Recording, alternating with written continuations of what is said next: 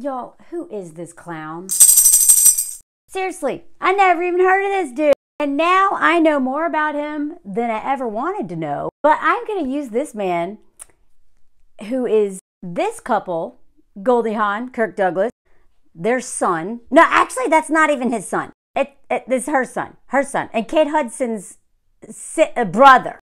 If you don't know who any of those people are, it doesn't matter. That's not the point. The point is, this man is trash. And he just humiliated his wife, who I had also never heard of until today.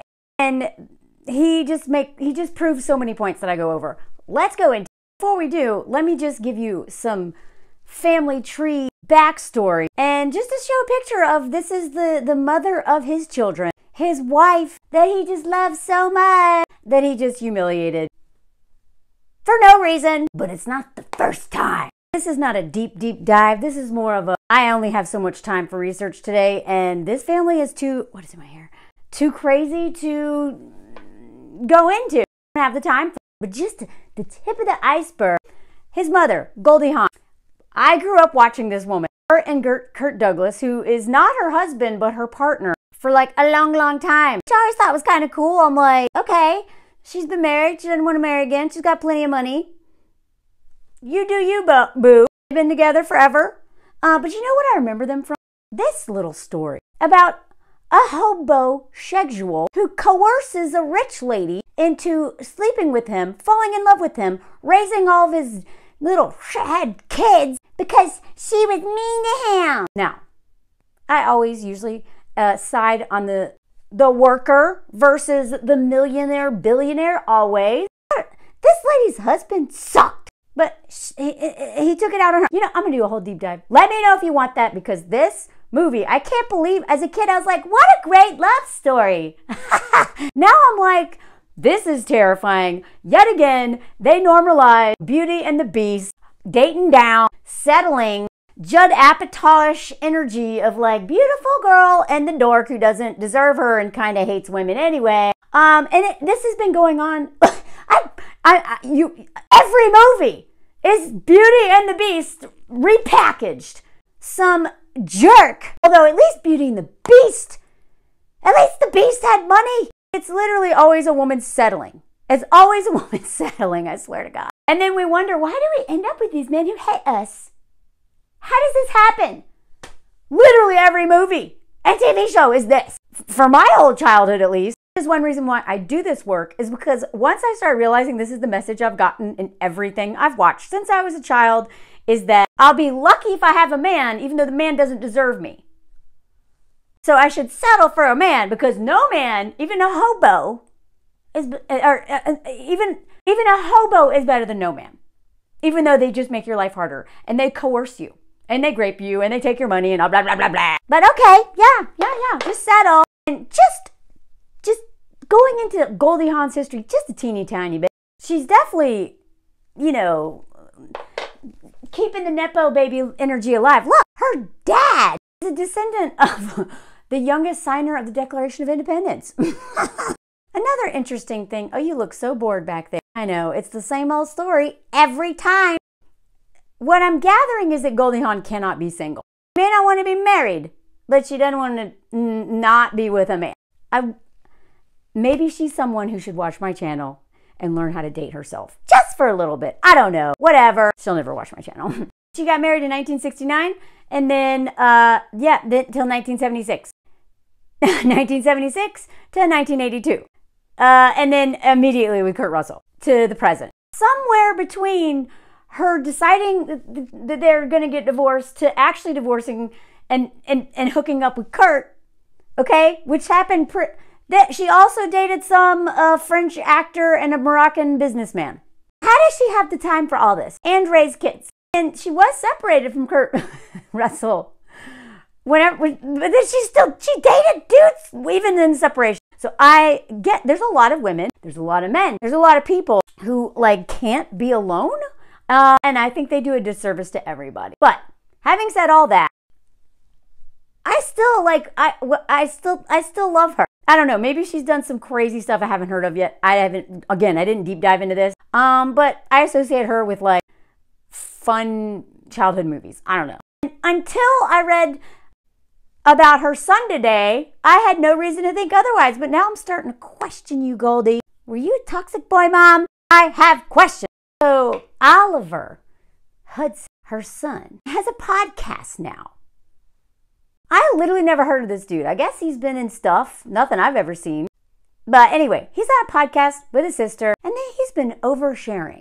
Today he shared, or maybe whatever, this week, that he cheated on his wife and never got caught. And just in case anyone thought he really loved his wife, uh, you know, just wants you to know that she put up with all this and stayed. Why would you say this? Like, this right there makes me think you hate your wife. Why would you tell the world that? Why would you tell, like, I, I feel so bad for this woman now. I mean, not only, okay, sorry, I'm getting ahead of myself. Let's, let's read. Right out of the gate, he doesn't regret it. Okay, let's go. So apparently he was not faithful to his now wife um, before their 2006 nuptials. And just so we're clear, does not regret it. It made him a better person. Not in my eyes, buddy. So he opened up about his complicated period in the relationship with his wife. When I got engaged, something happened psychologically. Just something happened. I don't know what it is. The person he's opened up to is Blake Lively's uh, sister. Y'all know how I feel about her and her husband. If you haven't seen it yet, the, go watch my playlist. I made too many videos. Anyway, I spiraled and I was unfaithful and I was cheating and I was crazy. Oh, that's an answer. He explained that when he came clean, it was of his own accord. What a good man. What a good man. I never got caught.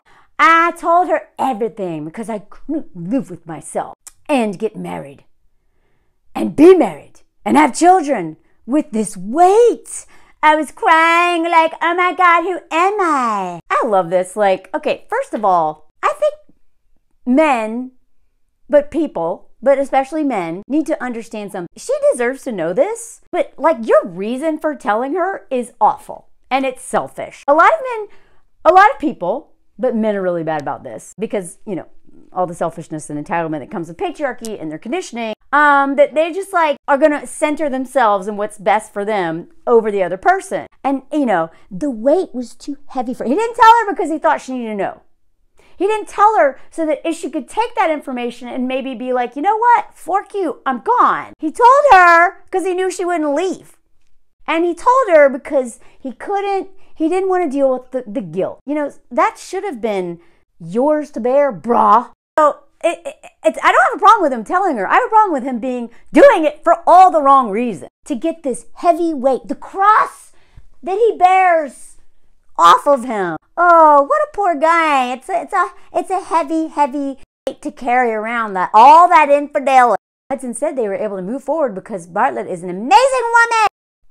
I don't know. It seems like you're probably going to do it again. And now uh, she can't leave you because you, she, right? Like she stayed. You know that she won't leave. So why would you not do it again? Adds that his mother, Goldie Hawn, helped him work, work through the pain. Goldie, are you a psychologist? Are you a therapist?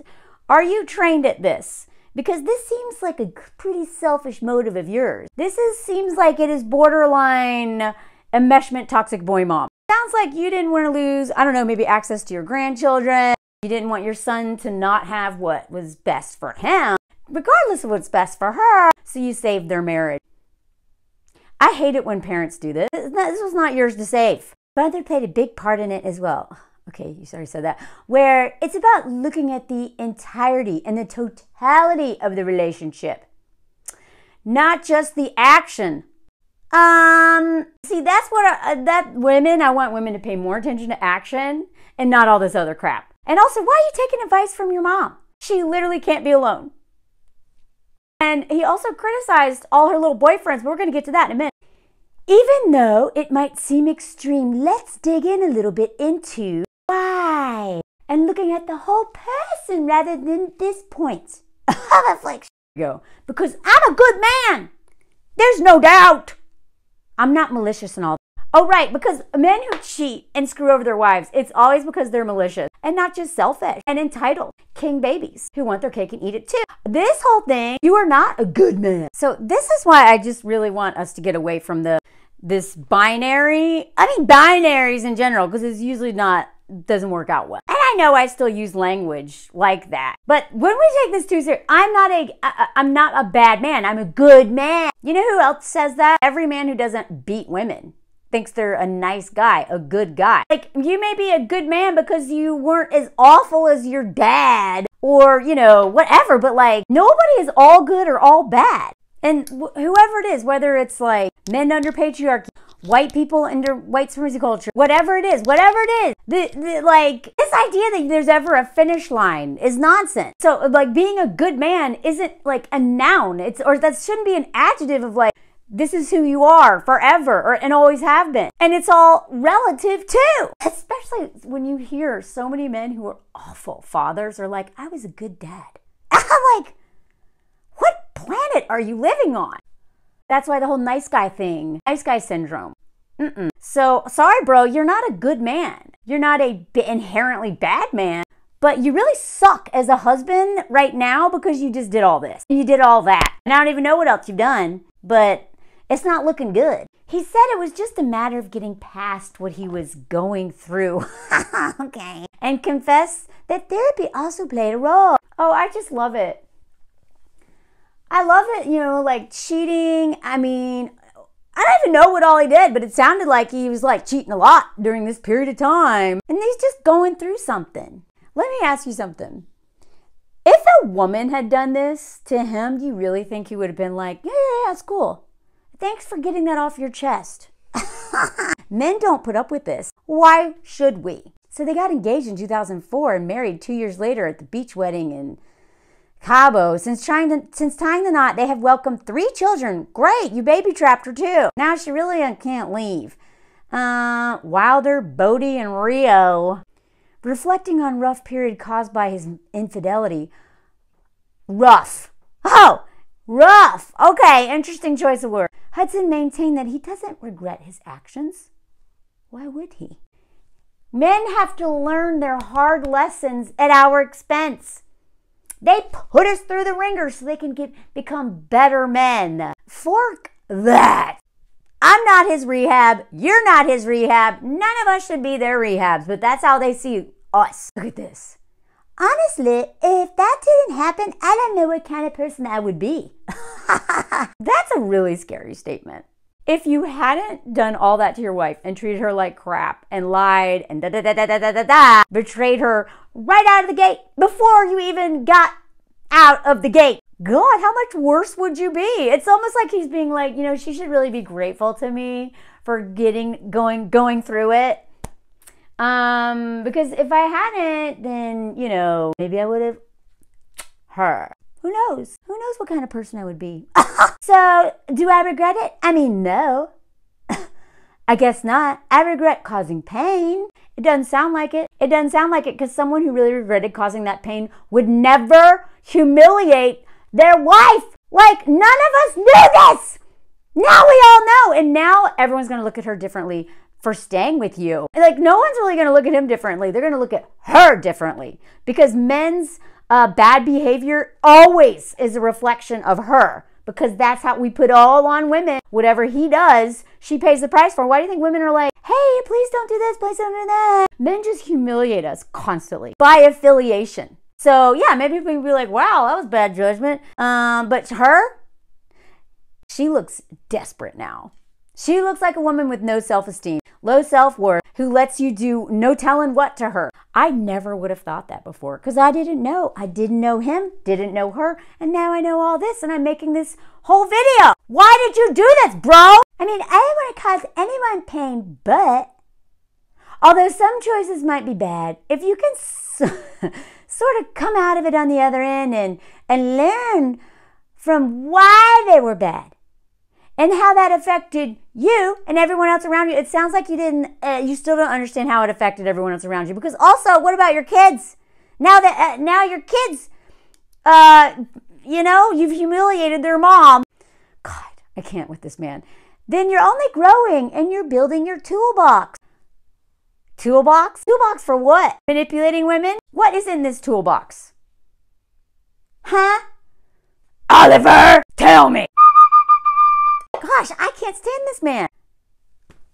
I'm sorry, I woke you up, but I got excited. I mean, honestly, men men just use us as tools, ends to a means, right? So is your is your toolbox full of like other women that you have sacrificed? Because anyway, God, he added. I mean, if everything was fucking rainbows and roses, then who are you? I love that. Like nothing is rainbows and roses. Everyone has cheated on their wife and lied about it and da da da da da, like me, right? you know what I also find funny? I'd probably make a video at one point. I remember Climber magazine. They once had a picture of a woman climbing, amazing climber, and on it she was like basically climbing in a bra. You know, a sports bra. It was the most uh, hyper schmegulized photo of, a, of an athlete on the cover of Climber magazine. And someone wrote into the editor being like, this seems really sexist. And the editors at Climber Magazine said, Well, what would you rather her climb in? A burqa?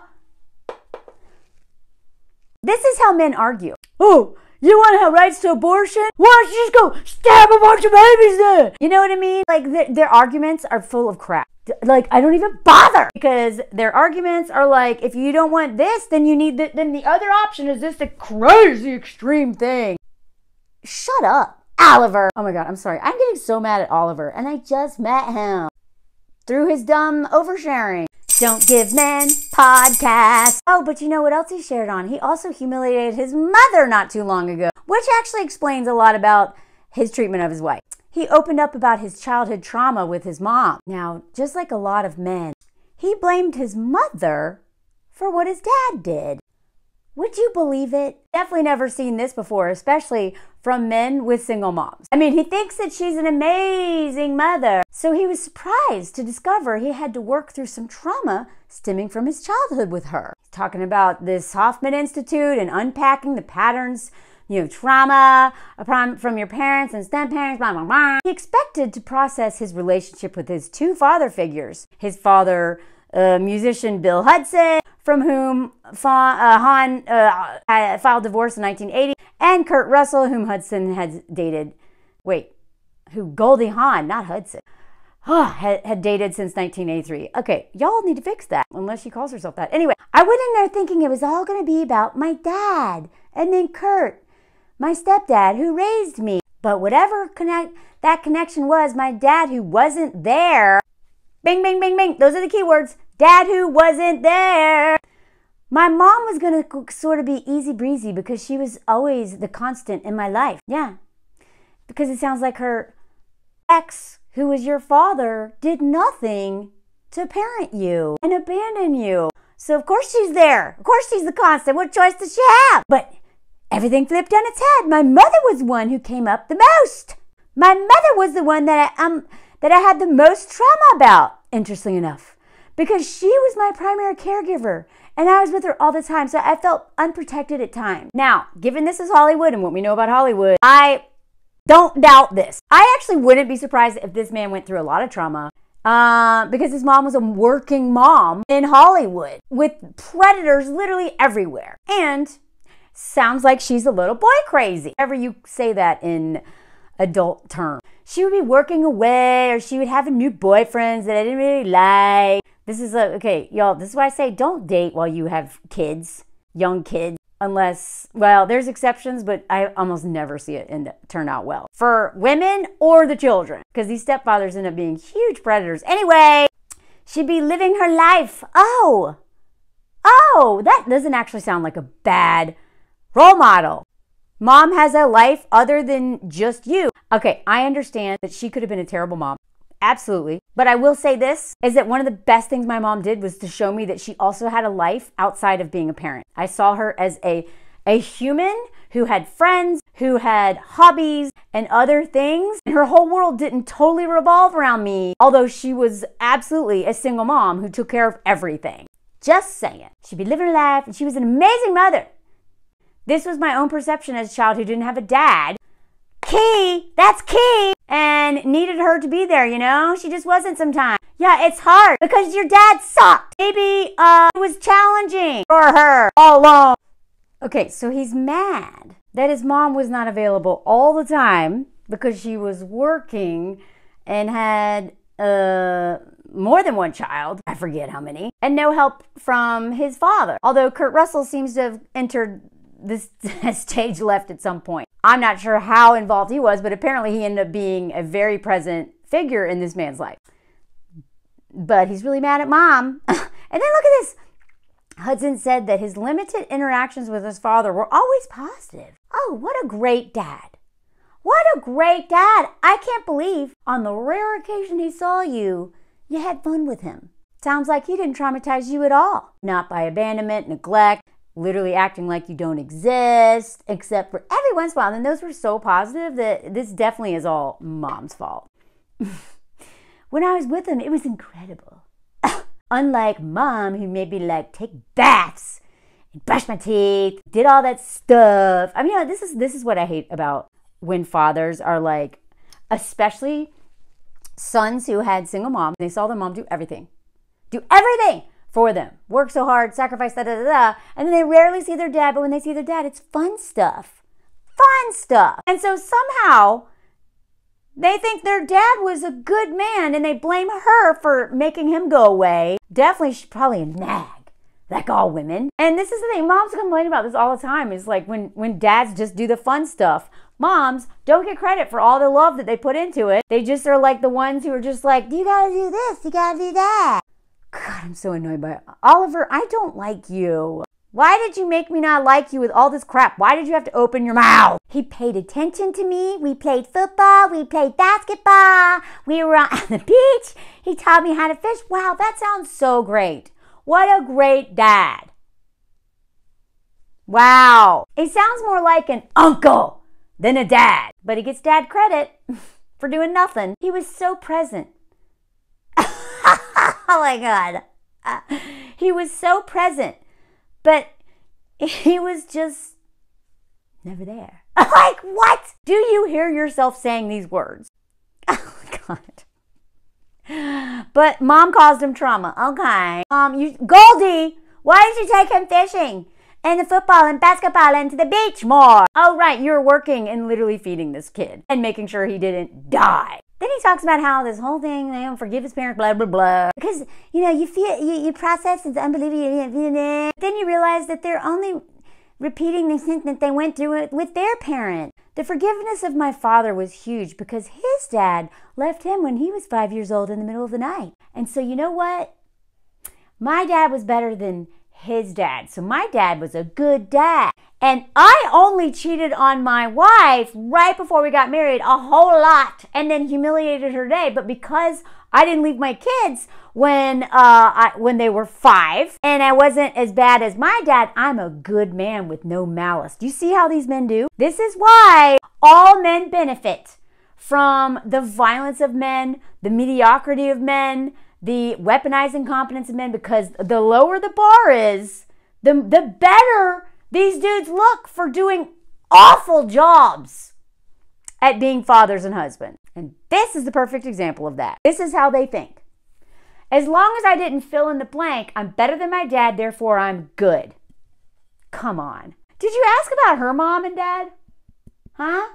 What about her mom and dad? Did you even care? Do you give women that kind of grace? I doubt it. Because look at this. Later on, he had to clear this one up. He got in trouble with mom. Ooh, no, no, there was no trauma. Oopsie. But look at this.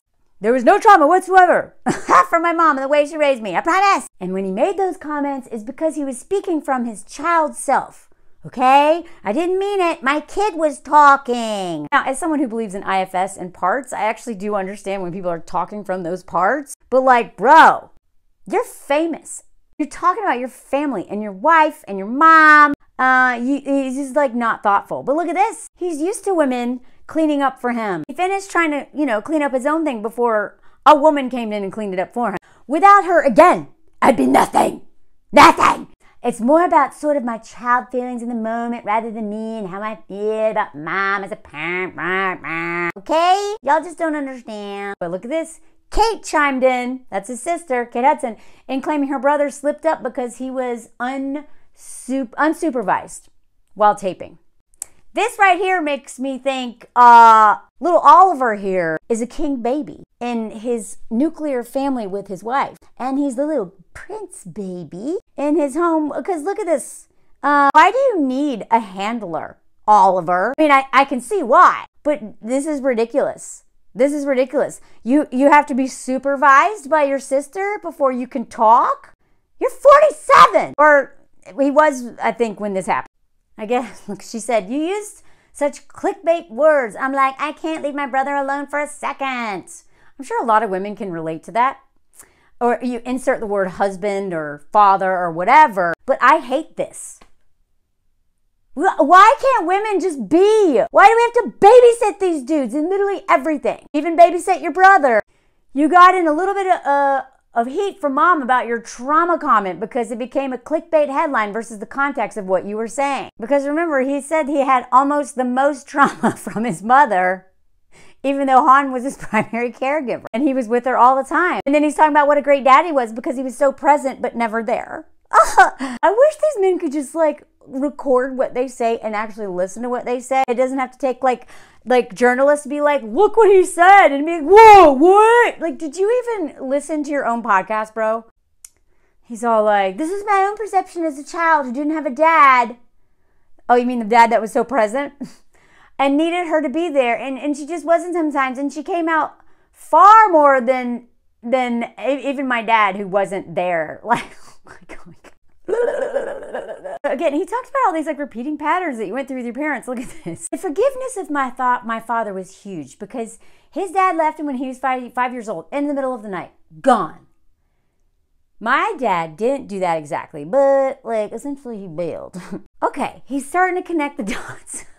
I just, I can't. I'm tired of Oliver. I don't want to talk about you anymore, Oliver, and I also don't want to know anything else about you. Please stop talking about your family, especially the women in your life. You are literally humiliating them, and they will pay the price for everything you say. So when I say all the time, that men don't really respect uh, women who sacrifice for them or endure things for them. This is what I'm talking about. You you will never convince me that man's not going to cheat again. If he hasn't already, he will cheat again because he is clearly not sorry. And as long as he doesn't bail on all his kids at five in the morning, and he does a little bit more than football, beach, and fishing like his dad, he's a good man. And that is why men are so stuck. They are playing the bare minimum game. if I just do this much more, uh, instead of actually addressing it sounds like he's addressing any of his trauma, although he's blaming his mom. And I'm not saying that his mom wasn't a part of it because she may be very, she may be an enmeshed, toxic boy mom who enables this prince because, I mean, his sister is seems like his handler. So who knows? I'm not saying that, that, that, that, she is not a part of this too. But any man that tests you like that and sees how much you can endure to see they're testing you to see how much you respect yourself and what you'll put up with. And you I mean these had three kids, right? Could have died three times. She was I think Miss Miss America or Miss USA or one of those. Was an actress, but I don't see her doing anything.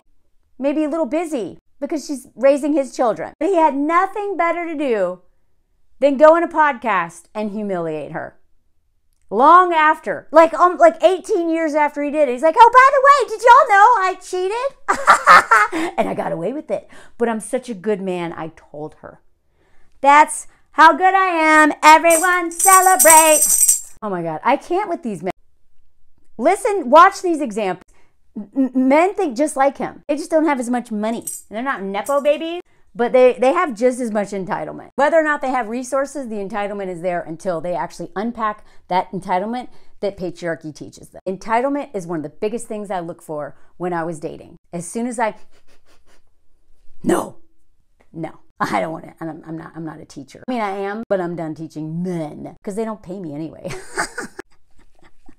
and they're terrible students like, comment, set on the notifications, uh, and all those things. Share that really help me grow my page. Thank you for being here. And let me know if you want that overboard uh, movie breakdown because uh, I'm horrified at the idea of going back and rewatching it, but I'm sure I'll have a lot to say. Thank you, thank you.